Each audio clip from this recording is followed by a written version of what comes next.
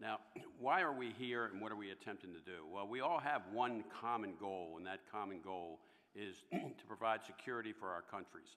Uh, we know that the threat of terrorism is real, and the best, the best way to fight terrorism is through intelligence.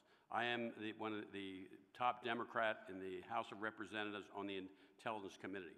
In my opinion, intelligence is clearly uh, the, the best defense against terrorism.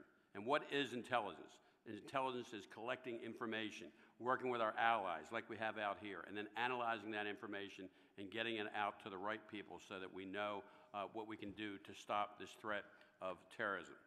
Now, this is a pivotal time, we know, for the Middle East. There's a lot that has happened. We know the history. We, the Arab Spring has ushered in new governments in Egypt and Libya.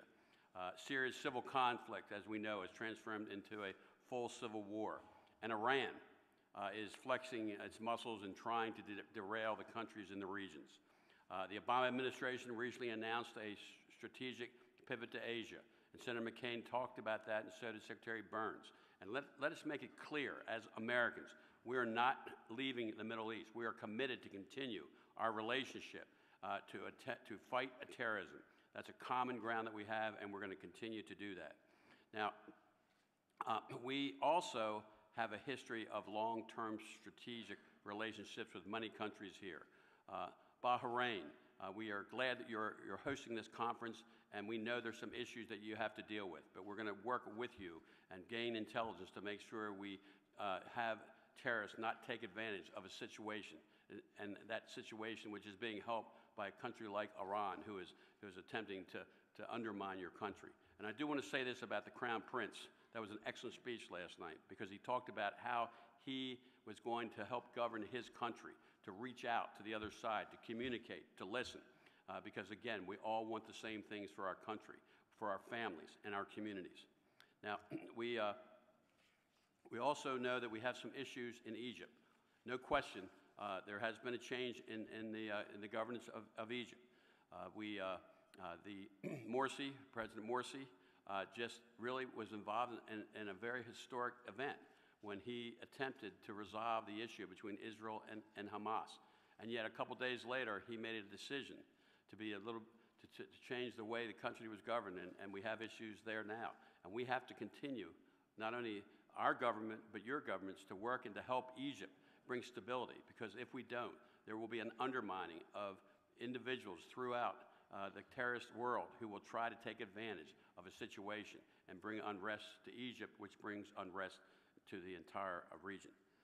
We also uh, are concerned about the issue involving Syria, a very serious situation. Uh, the leadership there uh, killing his own people, threatening to use chemical weapons. Uh, that could be a very serious situation. To use chemical weapons could mean 100,000 people immediately die and over a million being affected.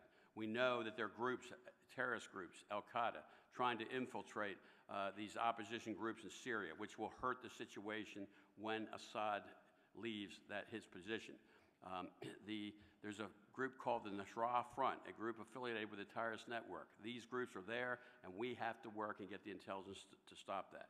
And then you have Iran, and we have to deal with Iran. We, Iran is getting bolder and more belligerent as these changes affect the region. There are indications uh, um, they are trying to get nuclear capability. We have to make sure we stop that. It will bring unrest to the region.